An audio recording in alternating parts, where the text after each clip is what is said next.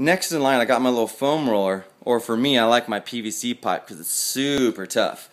We're going to try and loosen up the Achilles tendon and the gastroc inch by inch to try and eliminate any type of tension that we may have that might promote an overly tight ankle. So what we're going to do is I'm going to actually start at the base of my calf, right when that muscle starts to form, around that tendon, that muscular tendon unit.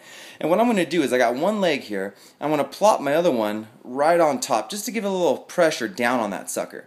But so we can see what's going on, I'm going to remove my foot just for purposes, and I'm going to kind of sit off my butt so put a little bit of pressure into that calf.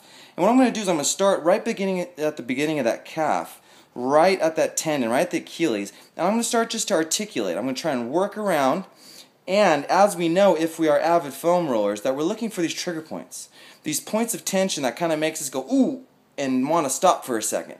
Once we find those trigger points, I want you to stop on that sucker and then specifically start moving yourself into plantar flexion and then dorsiflexion. And we're really going to work that out until a lot of those uh, a lot of those a lot of those sensations start to die down as far as that pain and those trigger points. And then we can learn to roll around. We've got a lot of surface here to cover, so don't be afraid to really move around that sucker and see if we can find any tissues that are a little bit troublesome.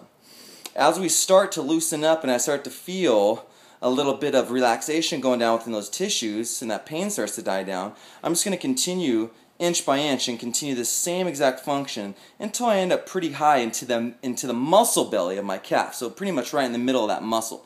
So I'm going to keep on doing this and pointing, make sure I'm going through my big ranges of my ankle until all that gets loosened up.